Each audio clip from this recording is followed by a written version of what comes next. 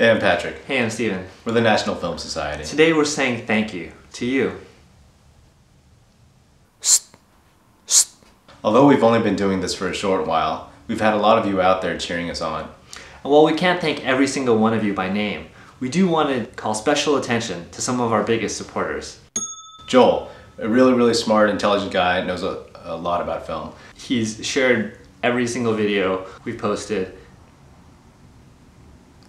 Forgot the thing I was supposed to say. He's funny. And he's funny.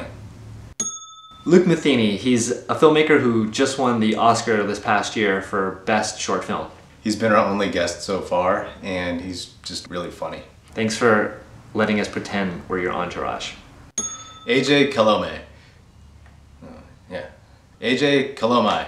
He's an awesome editor and a hub in the Filipino American entertainment community here.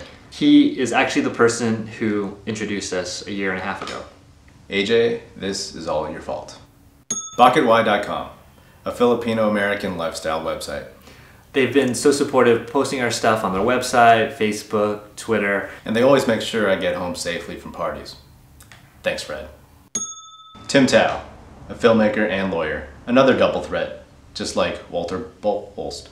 Tim's been super supportive, especially on Facebook. Thank you for, for liking our stuff. Maybe you're not even really watching it, but you're liking it anyway. That's cool. We, we appreciate that. It counts just the same.